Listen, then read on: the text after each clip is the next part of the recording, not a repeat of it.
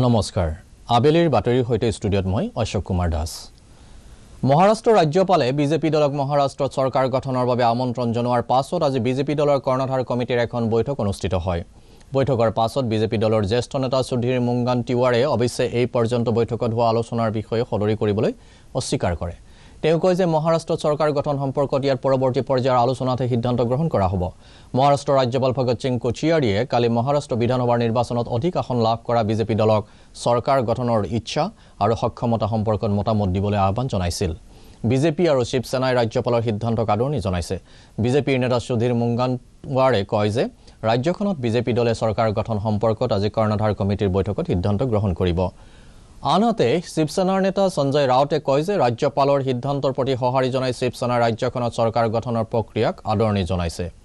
উল্লেখযোগ্য যে সদ্য সমাপ্ত মহাৰাষ্ট্ৰ বিধানসভা সমষ্টিত কোনো এটা দলে একক সংখ্যাগৰিষ্ঠতা লাভ নকৰাৰ পৰিপ্ৰেক্ষিতত ৰাজ্যখনত যোৱা পোন্ধৰ দিন ধৰি কোনো ধৰণৰ সিদ্ধান্তত উপনীত হ'ব পৰা নাই।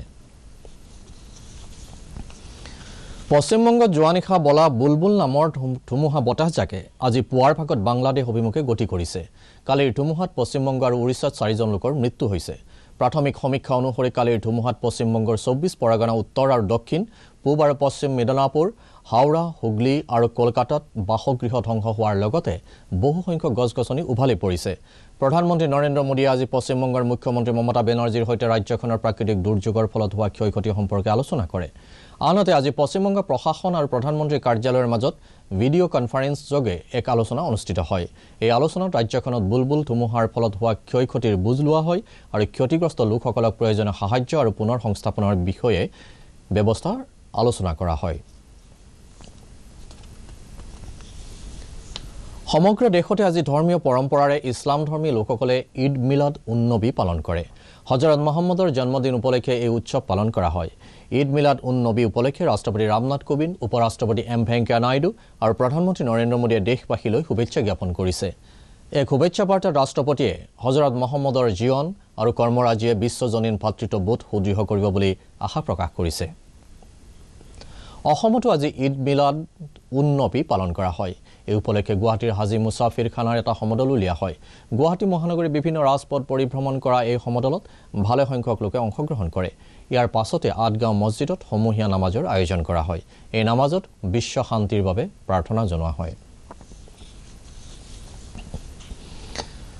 উচ্চতম ন্যায়ালয়ৰ মুখ্য ন্যায়াধীশ ৰঞ্জন গগৈয়ে আজি গুৱাহাটীত courts of India past and present নামৰ ভাৰতীয় ন্যায়পালিকাৰ ওপৰত প্ৰকাশিত গ্ৰন্থখনৰ অসমীয়া অনুবাদ উন্মোচন কৰিব।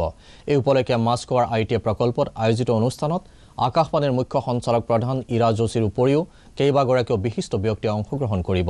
দূৰদৰ্শনৰ সৈতে হোৱা এক সাক্ষাৎকাৰত ইৰা যোশীয়ে কয় যে ভাৰতীয় ন্যায়পালিকাৰ ওপৰত প্ৰকাশিত courts of India past and present নামৰ গ্ৰন্থখনত ভাৰতীয় আদালতৰ বৰ্তমান আৰু অতীত সম্পৰ্কে বিভিন্ন গুৰুত্বপূৰ্ণ তথ্য সন্নিৱিষ্ট কৰা হৈছে।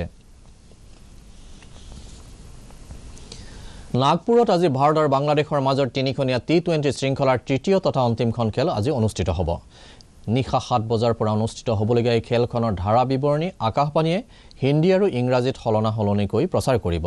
একেদৰে আকাশবাণীৰ ৰাজধানী এফ এম ৰেইনবো আৰু অতিৰিক্ত ফ্ৰিকুৱেঞ্চিসমূহতো নিশা চাৰে ছয় বজাৰ পৰা এই খেলৰ ধাৰা বিৱৰণী শুনিব পৰা যাব। উল্লেখযোগ্য যে তিনিখনীয়া এই টি টুৱেণ্টিৰ শৃংখলাত ভাৰত আৰু বাংলাদেশে এখনকৈ খেলত জয়লাভ কৰি ইতিমধ্যে সমতা স্থাপন কৰি আছে। আছাম ট্ৰিবিউন স্পৰ্টছ ক্লাবৰ উদ্যোগত আজি গুৱাহাটীকে ধৰি অসমৰ ত্ৰিছটা স্থানত একে সময়তে সিংহপুৰ ৰাধা গোবিন্দ বৰুৱা সোঁৱৰণী সদৌ অসম চিত্ৰাংকন প্ৰতিযোগিতা দুহেজাৰ ঊনৈছ অনুষ্ঠিত হয়। এই উপলক্ষে গুৱাহাটীৰ আছাম ট্ৰিবিউন প্ৰতিষ্ঠান চৌহদত আয়োজিত উদ্বোধনী অনুষ্ঠানত প্ৰতিত যশা ভাস্কৰ বীৰেণ সিংহই এই প্ৰতিযোগিতাৰ উদ্বোধন কৰে। অনুষ্ঠানত বিশিষ্ট শিল্পী ডাঃ অঞ্জনজ্যোতি চৌধুৰীয়ে সন্মানীয় অতিথি হিচাপে অংশগ্ৰহণ কৰি ৰাধা গোবিন্দ বৰুৱাৰ সমাজ সংস্কৃতি ক্ৰীড়া আৰু সাংবাদিকতাৰ ক্ষেত্ৰলৈ আগবঢ়োৱা বৰঙণি শ্ৰদ্ধাৰে সোঁৱৰণ কৰে। অনুষ্ঠানত দৈনিক অসম কাকতৰ কাৰ্যবাহী সম্পাদক মুনীন বায়নে সভাপতিত্ব কৰে। কাইলৈৰ পৰা ৰাস মহোৎসৱ আৰম্ভ হ'ব। সমগ্ৰ অসমতে ইয়াৰ বাবে ব্যাপক প্ৰস্তুতি চলিছে। যোৰহাটৰ ৰাস মঞ্চস্থ কৰিব লগা মঞ্চসমূহত অন্তিম আখৰা চলিছে। এইবাৰ যোৰহাটৰ আন আন মঞ্চৰ লগতে হেজাৰী মৌজা মিলিত শিল্পী সমাজৰ উদ্যোগত নাওবৈচা মঞ্চত ৰাস মঞ্চস্থ কৰাৰ বাবে প্ৰস্তুতি সম্পূৰ্ণ হৈছে। আনহাতে যোৰহাট কেন্দুগুৰি শ্ৰী শ্ৰী শংকৰদেৱ পুথিভঁৰালৰ দুদিনীয়া কাৰ্যসূচীৰে কাইলৈৰ পৰা ৰাস অনুষ্ঠিত হ'ব। এই উপলক্ষে ভাওনাৰ উপৰিও মহাৰাসকে ধৰি বিভিন্ন কাৰ্যসূচীৰ আয়োজন কৰা হৈছে।